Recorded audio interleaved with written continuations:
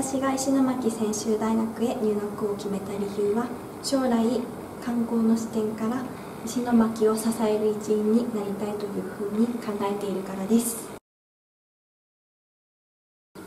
経営学部へ入学を希望する方は大学に入学してすぐにビジネス演習入門という科目を選択します。他の大学ではこのビジネス演習入門という科目は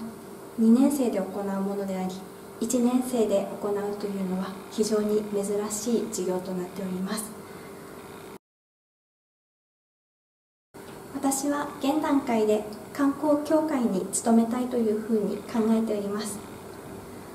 地域のために活躍する方々の場所づくりを提供する人間になりたいというふうに考えているからです。そのために学生のうちから企業の方行政の方共通する思い相違する思い両者の思いを理解する人間になりたいです。高校生と大学生では学び方が異なります。高校生はクラスというふうに時間割が設定されていますが